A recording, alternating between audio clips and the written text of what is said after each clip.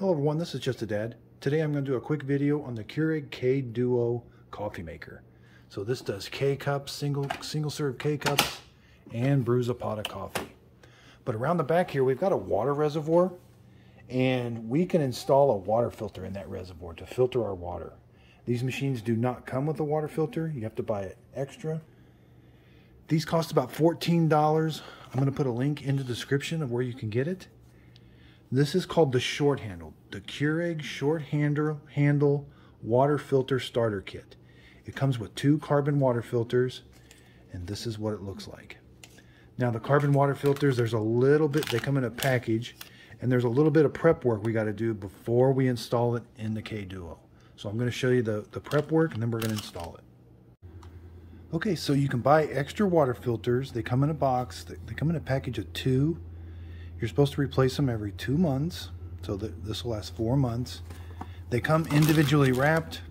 Now there is a little bit of prep work before you install it in your Keurig. You're want to open it up. Now these are carbon filters, and that's filled with carbon.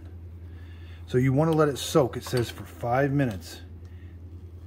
And your water's to turn like a, um, kind of like a gray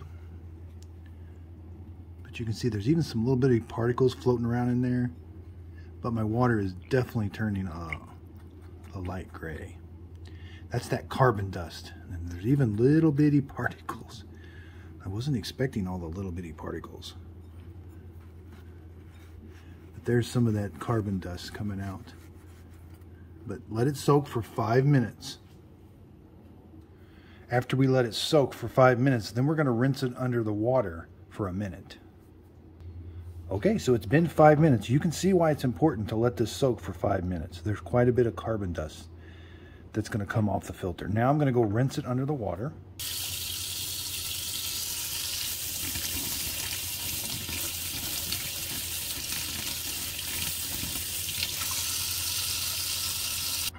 So now we're ready to install it in the Keurig holder. You're gonna, there's, a, there's a flat part here the flat part's going to go down towards that way and there's a curved part. So the curved part kind of goes into where the handle is then it's going to sit flush. Then you're going to just line up these and they should snap. That's how you install the water filter in the holder. So it says these water filters help remove water impurities and enhance beverage taste. I know one of the things they do is if you're if you can smell chlorine in your water really bad um, these do help remove chlorine in your water. Okay, now that we've got our filter ready to go, around the back is the water reservoir. So that little black thing down there, that is not a filter, but that's the intake. That's how the water goes into the Keurig machine for both sides, the K-cup side and the coffee maker side. So again, we got the short handle. We're just gonna snap it on. Make sure it snaps. If it doesn't snap on, like if you just set it there, it will float and the water won't go through it before it goes in the Keurig machine. If you snap it on, then the water has to go through the filter before it gets into the machine. And since it's the short handle, oh, we've got plenty of room to put the lid on. So you should change these about every two months.